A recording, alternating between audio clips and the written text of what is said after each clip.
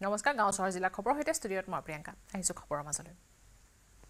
এই মুহূৰ্তত breaking news হেঙৰাবাৰীত চাঞ্চল্যকৰ ঘটনা সংঘটিত হৈছে। স্কুলীয়া ছাত্ৰীক ৰাজপথত নিৰ্যাতন। স্কুলৰ পৰা আহি থকা এগৰাকী ছাত্ৰীক নিৰ্যাতন। ছাত্ৰীগৰাকী হেঙৰাবাৰী উচ্চ মাধ্যমিক বিদ্যালয়ৰ অচিনাক্ত দুৰ্বৃত্তৰ নিৰ্যাতনৰ বলি হৈছে এগৰাকী ছাত্ৰী। ছাত্ৰীগৰাকীয়ে চিঞৰ বাখৰ কৰাত পলায়ন কৰে দুৰ্বৃত্তই।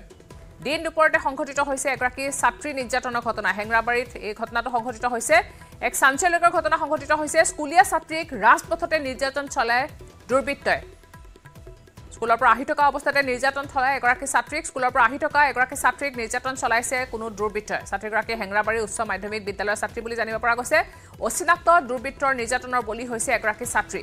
ছাত্ৰীগৰাকীয়ে চিঞৰ বাখৰ কৰাৰ পিছতে পলায়ন কৰিছে দুৰ্বৃত্তই। আমি ফোনযোগে সংযুক্ত হৈছোঁ আমাৰ জ্যেষ্ঠ সাংবাদিক বিৰিঞ্চি ডেকাৰ সৈতে। বিৰিঞ্চি আপোনাৰ পৰা ঘটনা সন্দৰ্ভত সবিশেষ জানিব বিচাৰিছোঁ। নিশ্চয় প্ৰিয়ংকা যে আচলতে মহানগৰীত শেহতীয়াকে দেখা পোৱা গৈছে যে কোনো এটা স্থানতে সেয়া দিনতে হওক ৰাতিয়ে হওক কোনো স্থানতে মহানগৰীত মহিলা যুৱতী কিশোৰী আচলতে সুৰক্ষিত নহয়। সেই কথা আজি হেঙেৰাবাৰী ঘটনাটো পুনৰবাৰ আচলতে প্ৰতিপন্ন কৰিছে। আৰু দেখা পোৱা গৈছে এগৰাকী স্কুলীয়া ছাত্ৰী। স্কুলৰ পৰা তেওঁ সদায় অহা যোৱা কৰি থকা সেই পথছোৱাত তেওঁ প্ৰায় আচলতে এনেধৰণৰ ঘটনাৰ সন্মুখীন হৈছে এনেধৰণৰ তেওঁৰ অভিজ্ঞতা হৈছে এনেকুৱা বেয়া অভিজ্ঞতা হৈছে যে দুৰ্বৃত্তই আচলতে পিছফালৰ পৰা আহে আৰু তেওঁৰ শৰীৰত আচলতে চুই স্পৰ্শ কৰি থৈ গুচি যায়। আৰু যেতিয়া তাত হোৱা দোৱা লাগে একাংশ লোকে সেই দুৰ্বৃত্ত কিন্তু তেতিয়া আচলতে দুচকীয়া বাহন বা অন্যান্য বাহনত আহি ছাত্ৰীগৰাকী অকলশৰীয়াকে আছিল নেকি? নিশ্চয় সেই ছাত্ৰীগৰাকী অকলশৰীয়াকে আচলতে আহি আছিল আৰু আহি থকা অৱস্থাত সেই দুৰ্বৃত্তই আহি পিছফালৰ পৰা আচলতে ছাত্ৰীগৰাকীক তিলতা সানিৰ চেষ্টা কৰিছিল যেতিয়া তাত চিঞৰবাখৰ কৰিলে তেতিয়া একাংশ লোক গোট খালে। কিন্তু তেতিয়ালৈকে আচলতে দুৰ্বৃত্ত পলাই আৰু সমগ্ৰ ঘটনাটোক লৈ যেতিয়া তেওঁ পৰিয়ালৰ লোকক অৱগত কৰিলে আৰু মাতৃ আৰু সেই ভুক্তভোগী ছাত্ৰীগৰাকী দিছপুৰ থানাৰ ইতিমধ্যে এখন এজাহাৰ দাখিল কৰিছে। আৰু সেই এজাহাৰৰ ভিত্তিত দিছপুৰ আৰক্ষীয়ে দুৰ্বৃত্তৰ সন্ধান কৰিছে যদিও কিন্তু কোনো দুৰ্বৃত্তৰ কোনো সংকটটো এই মুহূৰ্তলৈকে লাভ কৰা নাই। দেখা পোৱা গৈছে। মহানগৰীত আৰক্ষী যি ধৰণে আচলতে নিলিপ্ততা আৰক্ষীয়ে যি ধৰণে আচলতে একাংশ মহিলা বা কিশোৰী যুৱতীক যি ধৰণে নিৰাপত্তা দিব লাগে সেই ক্ষেত্ৰত ব্যৰ্থতা হোৱাৰ বাবে এনেধৰণে দিনক দিনে এনেধৰণৰ বাতৰি আচলতে পোহৰলৈ আহিছে এনেধৰণৰ ঘটনা সংঘটিত হবলৈ ধৰিছে। গতিকে এই ক্ষেত্ৰত এই ছাত্ৰীগৰাকীয়ে সকলোখিনি কথা আৰক্ষীৰ আগত অৱগত কৰিছে। কেনেধৰণে সেই দুৰ্বৃত্তই নিৰ্যাতন কৰিছিল বা সেই তেওঁ চিলতা সানিৰ চেষ্টা কৰিছিল সকলোখিনি কথা কৈছে। তেওঁৰ সেই জবাববন্দী যিহেতু আৰক্ষীয়ে লৈছে আৰু তাৰ পাছতে দুৰ্বৃত্তৰ সন্ধানত তদন্ত আৰম্ভ কৰিছে যদিও কিন্তু এই মুহূৰ্তলৈকে কোনো ধৰণৰ সফলতা লাভ কৰা নাই। হয় বিৰিঞ্চি যদি চাবলৈ যাওঁ ইমান সাহস কেনেকৈ পালে আৰু এটা ব্যস্ততাপূৰ্ণ এটা জেগা তাত এগৰাকী ছাত্ৰী আহি আছে ইমান মানুহৰ মাজতো এনেধৰণৰ সাহস কৰিবলৈ সক্ষম হৈছে গতিকে আচৰিত হ'বলগীয়া কথা। আৰু এটা কথা জানিব বিচাৰিছোঁ যিহেতু ছাত্ৰীগৰাকী অকলে নিশ্চয় অহা যোৱা কৰে হয়তো বহুদিনৰ পৰা ছোৱালীজনীক নজৰ দি আছিলে। এনেধৰণৰ ঘটনা হ'ব পাৰে। ছোৱালীজনী এই ছাত্ৰীগৰাকীয়ে কিবা মত প্ৰকাশ কৰিছে নেকি? নিশ্চয়কৈ আচলতে ছাত্ৰীগৰাকীয়ে মাতৃয়ে সেই কথাটো কৈছে যে তেওঁ যিহেতু অকলশৰে অহা যোৱা কৰে আৰু সেই অকলশৰে অহা যোৱা কৰা সুযোগ গ্ৰহণ কৰিছে এই দুৰ্বৃত্তই আচলতে। তেওঁ তেওঁ হয়তো বহুদিনৰ পৰা অনুসৰণ কৰি আছিল সেই ছাত্ৰীগৰাকীক আৰু আজিৰ দিনটো যিহেতু তেওঁ সেইখিনি সময় হয়তো কোনো লোক ওচৰে পাজৰে নাছিল আৰু আজি সেই সুযোগ আচলতে পাই তেনেধৰণে নিৰ্যাতন চলাবলৈ তেওঁ উদ্যত হৈছিল। কিন্তু ছাত্ৰীগৰাকীয়ে সেই সময়ত হোৱা দোৱাকে আচলতে চিঞবাস লগালে আৰু তাৰ পাছতে বহু সংখ্যক লোক সেই স্থানত ওলাই আহিছিল যদিও কিন্তু সেই দুৰ্বৃত্তক ধৰিব নোৱাৰিলে স্থানীয় ৰাইজে আৰু পৰৱৰ্তী সময়ত তেওঁ সেই সকলোখিনি কথা মাতৃৰ আগত ক'লে পৰিয়ালৰ লোকৰ আগত ক'লে। ইতিমধ্যে এজাহাৰ দাখিল হৈছে গোচৰ ৰুজু হৈছে সেই গোচৰৰ ভিত্তিত দিছপুৰ আৰক্ষীয়ে কেনেধৰণে সেই দুৰ্বৃত্তৰ বিৰুদ্ধে আচলতে অভিযান চলাব বা তদন্ত কৰি আটক বা গ্ৰেপ্তাৰ কৰিবলৈ সক্ষম হয় নহয় সেয়া যথেষ্ট কিন্তু লক্ষণীয় বিষয়। হয় বিৰিঞ্চি আশা ধন্যবাদ জনাইছোঁ আৰু আশা কৰিছোঁ অতি শীঘ্ৰে কৰায়ত্ব কৰিব পাৰিব দুৰ্বৃত্তক। ধন্যবাদ জনাইছোঁ বিৰিঞ্চি ইফালে চন্দ্ৰপুৰত ডিঙি ৰেপি হত্যা কৰা হৈছে এজন যুৱকক। হত্যা বলি হোৱা যুৱকজনৰ নাম হৈছে শুভাংকৰ বোছ বন্ধুৱে নিশা খানা খাবলৈ মাতি হত্যা কৰে যুৱকজনক। ৰূপক কলিতা নামৰ যুৱকজনে হত্যা কৰিছে শুভাংশু বোছক চন্দ্ৰপুৰৰ সূতা কলত সংঘটিত হৈছে এই ঘটনাটো ডিঙি চেপি শুভংকৰ বোছক পেলাই দিছিল পথৰ কাষত। স্থানীয় লোকে উদ্ধাৰ কৰি হস্পিটেললৈ প্ৰেৰণ কৰিছিল আৰু বৰ্তমানে পলাতক হৈ আছে ৰূপক কলিতা। কালি কি হ'ল? দুপৰীয়া ঘৰৰ পৰা ভাত খাই কিনে ওলাই গ'ল। ওলাই যোৱাৰ পৰা ভাত চাত খায়ো আহিল আকৌ সন্ধিয়া চাহ খাই কিনে গ'ল। যোৱাৰ যোৱাৰ পিছত বোলে ৰূপক ৰূপক কলিতাই বোলে ফোন ফোন কৰি আহি মাতিছে। আহাচোন নাহা কিবা এটা কথা আছে। পিছত গুচি গ'ল। লগৰকেইটাই ভাবিছে ই ইমান দেৰি হ'ল আহি পোৱা নাই কিয়? পিছত লগগিলাও যাই চালে তেতিয়া যাই চাই অলৰেডি কামটো হৈ গ'ল। মানে মাৰ্ডাৰ কৰিলে আৰু কাটিলে। বেহুচ হৈ হৈ আছিলে। যোন যোন কিমিলাম তাক নাপালে। কিহেদি কাটিছে? এতিয়া চুৰি বা ব্লেডৰ সেনেকুৱা সন্দেহ কৰা হৈছে। কেনেকুৱা আঘাত পাইছে? আঘাতটো মানে হৈছে বহুত হৈছে ঊনৈছটা চিলাই হৈছে। আপোনাৰ কেছ দিছে থানাত? থানাত এতিয়া শুনা মতে দি দিয়া বুলি শুনা পাইছোঁ কিন্তু চিয়ৰ নহয় আৰু। কোন ঠাইত কাটিছে এনেকুৱা বোলে এক্সিডেণ্ট নলবাৰী গণেশ মন্দিৰ চকত ভয়াৱহ পথ দুৰ্ঘটনা সংঘটিত হৈছে। ডাম্পাৰক খুন্দাত থিতাতে মৃত্যু হৈছে এগৰাকী কলেজীয়া ছাত্ৰী। ডাম্পাৰ চালকৰ দৌৰাত্মৰ বাবে নলবাৰীত প্ৰাণ গৈছে কলেজীয়া ছাত্ৰীগৰাকীৰ। কলেজলৈ চাইকেলেৰে আহি থকা অৱস্থাত সংঘটিত হৈছে দুৰ্ঘটনাটো। নলবাৰীৰ ধমধমা পথত সংঘটিত হৈছে এইটো দুৰ্ঘটনা। দুৰ্ঘটনাত মৃত্যু হোৱা ছাত্ৰীগৰাকীৰ নাম হৈছে পায়েল দেৱী। স্প্ৰিংডেল একাডেমীত অধ্যয়নৰত আছিল ছাত্ৰীগৰাকী। দুৰ্ঘটনা সংঘটিত হোৱাৰ পিছতে শিক্ষাৰ্থী আৰু ৰাজ্যৰ উত্তাল প্ৰতিবাদ। ৰাষ্ট্ৰীয় ঘাইপথ অৱৰোধ কৰি টায়াৰ জ্বলাই প্ৰতিবাদ সাব্যস্ত কৰিছে উত্তেজিত লোকে। ঘটনাস্থলীত উচ্চ পদস্থ আৰক্ষী বিষয়া উপস্থিত হৈ পিছত নিয়ন্ত্ৰণ কৰে। পৰিস্থিতি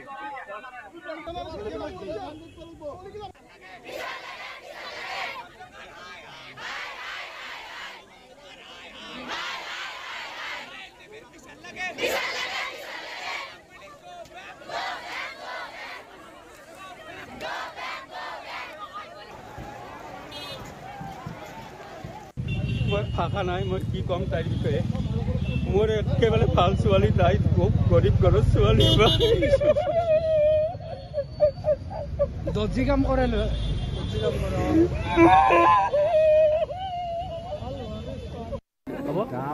বন বিভাগ বন বিভাগৰ বন বিভাগ হওক বা কিবা হওক ইয়াত কি নিয়ম আছে নাই চৰকাৰে জানিব বন বিভাগে জানিব। এতিয়া মই চৰকাৰৰ মানুহ নহয় মই একো নাজানো।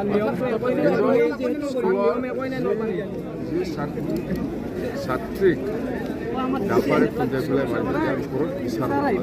মুঠতে চৰকাৰে ভাল বিচাৰ কৰক যাতে আৰু এনেকুৱা হ'ব নোৱাৰে।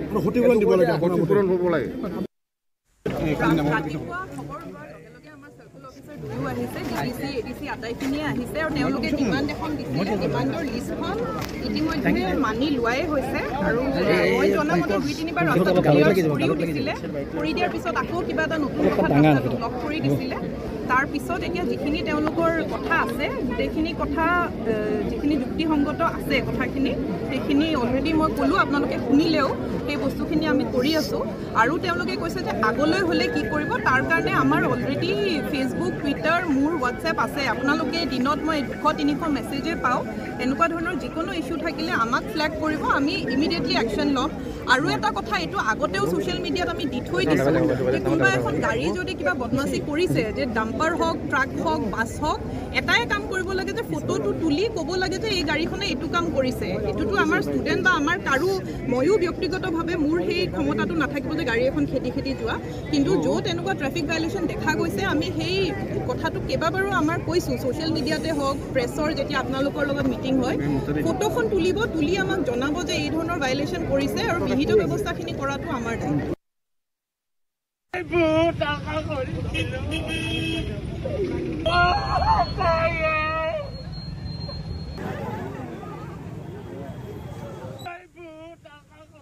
আমি ফোনযোগে সংযুক্ত হৈছোঁ। নলবাৰীৰ সাংবাদিক কৈলাশ ডেকাৰ সৈতে। কৈলাশ ঘটনা সন্দৰ্ভত আমি আপোনাৰ পৰা জানিব বিচাৰিছোঁ। আপডেট কিবা আছে নেকি? অতি দুখৰ ঘটনা এটা সংঘটিত হৈছে। স্কুললৈ গৈ থকাৰ সময়তে মৃত্যু হৈছে ছাত্ৰীগৰাকীৰ।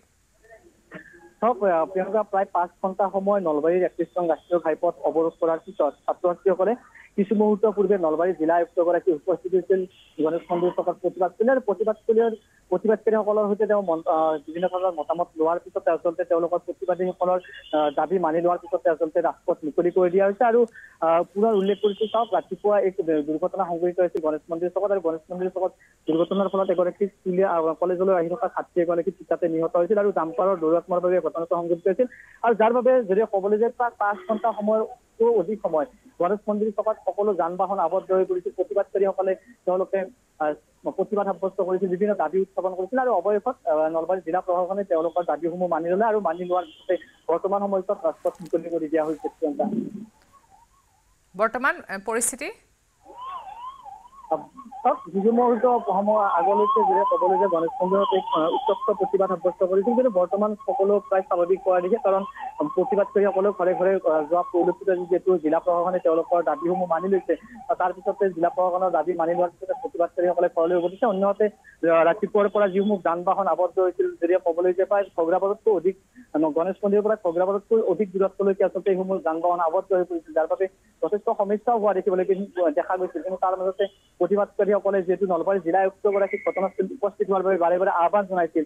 তাৰপিছত ঘটনাস্থলীত আয়ুক্তগৰাকী উপস্থিত হৈছিল জিলা আয়ুক্তগৰাকী আৰু আয়ুক্তগৰাকীৰ উপস্থিতিতে সকলো কথা তেওঁলোকে প্ৰশাসনে মানি লোৱা পৰিলক্ষিত হৈছে আৰু মানি লোৱাৰ পিছতে সকলো মুকলি কৰি দিয়া হৈছে। বৰ্তমান পৰিস্থিতি স্বাভাৱিক হোৱা দেখিবলৈ পোৱা গৈছে ডাম্পাৰ চালকজনক গ্ৰেপ্তাৰ কৰিলে নেকি? চাওক যিগৰাকী আচলতে ডাম্পাৰ চালকে এই ঘটনাটো সংঘটিত কৰিছিল। এই ঘটনাটো সংঘটিত কৰাৰ পিছত আৰক্ষীয়ে খেদি খেদি সেইগৰাকী ডাম্পাৰ চালকক আটক কৰিছিল আৰু ডাম্পাৰ চালকৰ মই নামটো উল্লেখ কৰিব বিচাৰিছো পবিত্ৰ কলিতা নামৰ এগৰাকী ডাম্পাৰ চালক ঘটনাটো সংঘটিত কৰিছিল আৰু তীব্ৰ বেগী ডাম্পাৰখনে এই ঘটনাটো সংঘটিত কৰি যদিও পলায়ন কৰিছিল পলায়ন কৰাৰ মুহূৰ্ততে আচলতে আৰক্ষীয়ে খেদি খেদি ডাম্পাৰখন ডাম্পাৰ সহ চালকগৰাকীক আচলতে আটক কৰিবলৈ সক্ষম হৈছিল। হয় ধন্যবাদ জনাইছোঁ কৈলাশ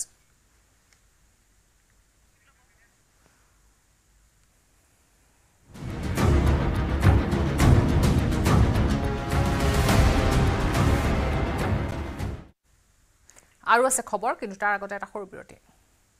মাইথান ষ্টিল নহয়।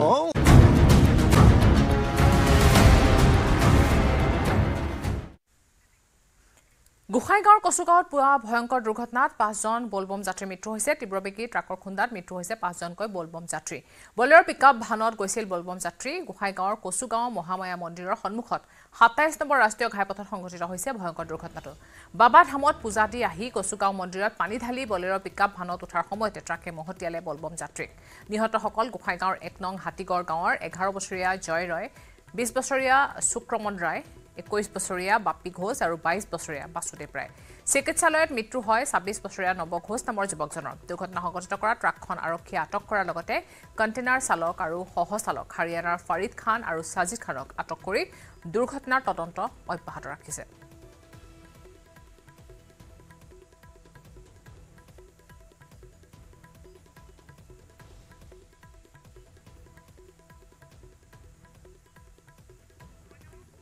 ইফালে দুৰ্ঘটনাৰ পিছতে কচুগাঁৱৰ গুৰফেলাত সাতাইছ নং ৰাষ্ট্ৰীয় ঘাইপথ অৱৰোধ কৰি প্ৰতিবাদ সাব্যস্ত কৰিছে কেইবা শতাধিক লোকে। নিহত পাঁচ যুৱকৰ পৰিয়ালক আৰ্থিক ক্ষতিপূৰণৰ লগতে উদন্ত চালকৰ উচিত শাস্তিৰ দাবী জনাইছে প্ৰতিবাদকাৰীসকলে। পৰৱৰ্তী সময়ত গোসাইগাঁও মহকুমা আৰক্ষী বিষয়া হীৰেণ কুমাৰ ডেকা গোসাইগাঁও আৰক্ষী আৰু কচুগাঁও আৰক্ষী উপস্থিত হৈ নিয়ন্ত্ৰণ কৰে পৰিস্থিতি। আমাৰ আজি শ্ৰাৱণ মাছৰ লাষ্ট সপ্তাহত আমাৰ এই কচুগাঁও যিখন মহামায়া মন্দিৰ আছে সেইখনত আমাৰ পানী ঢালিবলৈ গৈছিল শিৱ মন্দিৰত আমাৰ ভাইহঁতে। কিন্তু দেখা গ'ল যে পানী ঢালি মানে ওচৰত হাইৰডৰ ওচৰত থিয় হৈ থাকোঁতে এখন গাড়ী তীব্ৰবেগী গাড়ী আহি আমাৰ ভাইহঁতক মানে শেষ কৰি পেলাই দিলে। তাত প্ৰশাসনে নিৰাপত্তা দিব লাগিছিল বা পূজা কমিটিয়ে নিৰাপত্তা দিব লাগিছিল যে এনেকুৱা এখন হাজাৰ হাজাৰ মানুহ ইয়াত আহি আছে। যে আমাৰ ব্ৰেকেটৰ ব্যৱস্থা থাকিব লাগে পুলিচ প্ৰশাসনে বা ভলাণ্টিয়াৰ থাকিব লাগে। দেখা গ'ল যে একো একো মানুহে তাতে কোনো ব্ৰেকেটো নাই প্লাছ প্ৰশাসনৰ ব্যৱস্থাও নাই কোনো আপোনাৰ ভলাণ্টিয়াৰো নাই ভলাণ্টিয়াৰো নাই। কিন্তু এইখন আমি অনুৰোধ কৰোঁ যে এনেকুৱা যাতে আৰু ভৱিষ্যতে কেতিয়াও নহয়। ভুলটো ক'ব গ'লে আজি ইয়াত যি ব্যৱস্থা হ'ব লাগিছিল আমাৰ মন্দিৰ কমিটিৰ আগমুহূৰ্তত এই ব্যৱস্থা নাই আজি। আমি চি চি টিভি ফুটেজ আমি নিজে চালো। ল'ৰাকেইটা ওচৰতে আছিল মানে ৰাস্তাৰ কাষতে আছিল কিন্তু গাড়ীখন একেবাৰে কাষেদি আহি আছিল। অহা অৱস্থাত মানুহ বহুত সমাগম আছিল কিন্তু তাতে এখন বলৰ গাড়ী ৰখা আছিল বলৰ পিক এই গাড়ীখনত খুন্দা মাৰি ল'ৰাকেইটাক উৰুৱাই লৈ গ'ল। কেইজন ল'ৰা আছিল? ল'ৰা আছিল ইয়াতোতো চাৰিজন লগে লগে থিতাতে মৃত্যু হৈ গ'ল। আৰু এজন আৰু দুজন আছিল দুজন হস্পিটেল লৈ গৈছিল তাতে এজন মাৰা গ'ল। আৰু এজন এতিয়া হস্পিটেলত আছে। তাৰ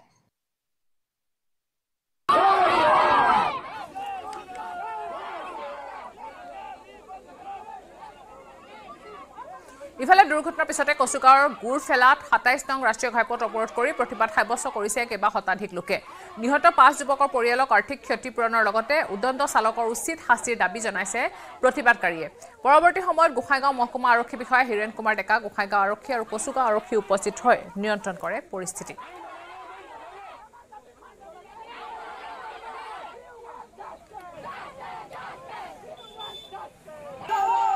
একচুৱেলি সিহঁতে মানে কচুগাঁও মহামাধমত বল পানী ঢালিবলৈ গৈছিল।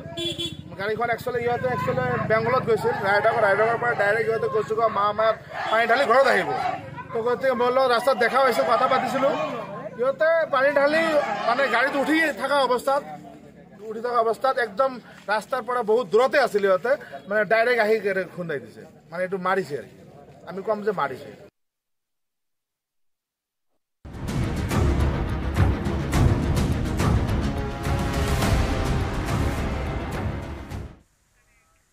চিকিৎসকৰ প্ৰতিবাদত উত্তাল কলকাতা। সতীৰ্থ চিকিৎসকক ধৰ্ষণ আৰু হত্যাৰ প্ৰতিবাদত চাৰিদিন ধৰি পশ্চিমবংগৰ জুনিয়ৰ ডক্টৰ ইণ্টাৰ্ণ আৰু পষ্ট গ্ৰেজুৱেট ট্ৰেইনী চিকিৎসকসকলে অব্যাহত ৰাখিছে প্ৰতিবাদ। কলকাতাৰ আৰ জি কৰ চিকিৎসা মহাবিদ্যালয় আৰু হস্পিটেলৰ চিকিৎসকগৰাকীৰ ধৰ্ষণ আৰু হত্যাৰ বিৰুদ্ধে ফেডাৰেশ্যন অৱ ৰেচিডেণ্ট ডক্টৰ্ছ এছ'চিয়েশ্যনে দেশজুৰি হৰতালৰ আহ্বান জনাইছে। আৰু এই আহ্বান মৰ্মে কলকাতাৰ চিকিৎসকসকলে তীব্ৰ প্ৰতিবাদ সাব্যস্ত কৰিছে। দিল্লীতো চিকিৎসক ধৰ্ষণ আৰু হত্যাৰ বিৰোধিতাৰে এইমছৰ চিকিৎসকসকলে প্ৰতিবাদ সাব্যস্ত কৰিছে। এই প্ৰতিবাদৰ ফলত এইমছৰ চিকিৎসা সেৱাটো এতিয়া ব্যাঘত হৈছে। কলকাতাৰ আৰ জি কৰ চিকিৎসা মহাবিদ্যালয় হস্পিটেলত শুকুৰবাৰৰ নিশা কি হৈছিল? সেই কথা শুনিলে সকলো সভ্য লোকৰে হৃদয় কঁপি নুঠি নোৱাৰে। শুকুৰবাৰে নিশা হস্পিটেলৰ ছেমিনাৰ হলত চাৰি সতীৰ্থৰ সৈতে আছিল দুৰ্ভগীয়া চিকিৎসকগৰাকী। একত্ৰিছ বছৰীয়া চিকিৎসকগৰাকীয়ে খাদ্যৰ অৰ্ডাৰ দি ছেমিনাৰ ৰুমতে নিশাৰ আহাৰো গ্ৰহণ কৰিছিল। আটাইকেইজনে নিশা একেলগে অলিম্পিকৰ জেভলিন থ্ৰ'ৰ নীৰজ চোপ্ৰা নীৰজ চোপ্ৰাৰ ৰূপৰ পদক জয় কৰা খেল উপভোগ কৰিছিল আৰু খেল চাই উঠি সতীৰ্থসকলে তাৰ পৰা ওলাই গৈছিল। ইফালে একত্ৰিছ বছৰীয়া চিকিৎসকগৰাকীয়ে নিশা প্ৰায় তিনি বজাত ছেমিনাৰ ৰুমতে শুই যায়। পুৱতি নিশা প্ৰায় চাৰি বজাত ধৰ্ষণকাৰীয়ে ছেমিনাৰ ৰুমত প্ৰৱ- প্ৰৱেশ কৰে। প্ৰথমে চিকিৎসকগৰাকীক ধৰ্ষণ কৰে। চিকিৎসকগৰাকীয়ে চিঞৰ বাখৰ কৰাত তেওঁৰ ডিঙি চেপি হত্যা কৰে। পুৱা প্ৰায় সাত বজাত চিকিৎসকগৰাকীৰ মৃতদেহ উদ্ধাৰ কৰা হয়। আমি আমি আমি এরকম কিছু বলিনি যে একজন একজন পুলিশ তার দায়িত্ব আছে পুলিশ করবে इसका कारण है मेरा बदनामी हो रहा है मेरा बदनामी हो रहा है सोशल मीडिया में मेरा मुख मेरा भा- मुख पे कुछ भी बोली जा रहा है इसके कारण से और एक ये ले- जो लड़की का डेथ हुआ डॉक्टर ये ये लड़की मेरा लड़की जैसा है एक पेरेंट्स होने का नाते मैं रेजिग्नेशन देना सोचता हूँ इसलिए मैं रेजिग्नेशन दे रहा हूँ मेंटली मैं I don't like that this should happen to anyone in future लेकिन मैंने उसको बचाने का कोशिश तो पूरी किया लेकिन हमारा जो डिपार्टमेंट है हमारा डिपार्टमेंट चेस डिपार्टमेंट में उसका डेथ हो गया तो it's really unavoidable that's you have resign এবং খুবই বেদনাদায়ক ঘটনা যেই জড়িত থাক তাকে ইমিডিয়েট শাস্তি দিতে হবে এবং আমরা চাই এই কেসটা ফাস্ট ট্র্যাক কোর্টে হোক ফাস্ট ট্র্যাক কোর্টে হলে জুডিশিয়াল প্রসেসটা তাড়াতাড়ি হবে। এবং তাতে আমরা দাবি জানাব। কিছু লোক এখনও সামাজিক অবস্থার মধ্যে সামাজিক মূল্যবোধটাকে ভুলে গেছে। মেয়েদের গায়ে হাত দেওয়া যে কত বড় অপরাধ, এবং তার সাথে যে অত্যাচার করেছে বা তাকে যেভাবে খুন করেছে। আমি আশ্চর্য হয়ে যাচ্ছি, ওখানে নার্সরা ছিলেন। ওখানে ওদের সিকিউরিটি ছিলেন সবাই ছিল। কিন্তু কি করে ঘটনা ঘটলো এটা এখনও আমি ঠিক বুঝতে পারছি না। পুলিশকে আমি বলেছি বাবা মাও যেটা আমাকে বলেছেন যে ওদের ভেতরেই কেউ আছে। যদি ভেতরে কেউ থাকে কারও প্রতি সন্দেহ হয় যারা ছিল যারা ওর বন্ধু বান্ধব তাদেরকে সবাইকে ডেকে কথা বলবে এবং যিনি ফোন করেছিলেন প্রথম বাড়িতে তাকেও ডেকে কথা বলবে। আৰু ইয়াৰ লগে লগে সময় হৈছে এতিয়া বাতৰিৰ পৰা বিদায় লোৱাৰ। নমস্কাৰ। এইটো মাইথান ষ্টীল নহয়। অ ওচৰ চুবুৰীয়াসকলে লগাইছে। ষ্ট্ৰং মানে? মাইথান ষ্টীল।